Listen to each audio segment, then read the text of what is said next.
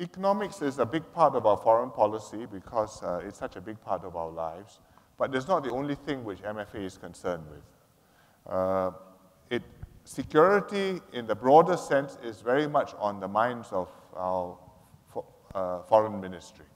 You are dealing with um, uh, the strategic balance in the region. You're talking about uh, security slash military issues.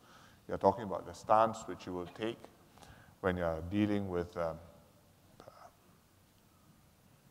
uh, well, military presence in the region. Whom do we consider legitimate participants, whom, who are not legitimate participants? These are things which are very much on MFA's minds. Uh, cybersecurity is a specific problem. It's a problem which many countries have.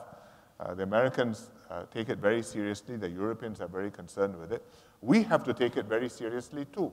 In fact, Americans discuss this with many partners. They discuss, Obama discussed this with President Xi Jinping in, in their summit recently.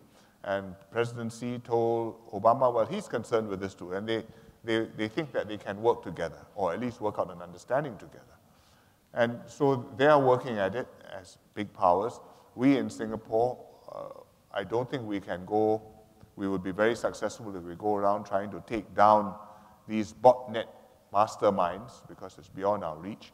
But to protect ourselves, not just government systems, but also our financial systems, also our commercial systems, also our infrastructure systems. I think that's very important.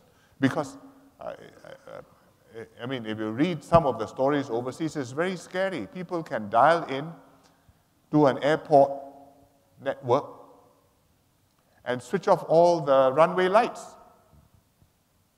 Hacker. Or they can connect up to your water treatment plant or sewage treatment plant turn on and off the valves and you find the wrong fluids going the wrong places. Could it happen in Singapore? I'm not sure I can say it is absolutely impossible. So it's something which we have to take very seriously. We've now got a, what do we call it, a cybersecurity agency. And CSA. CSA. And we are working at it, but there's a lot of work to be done.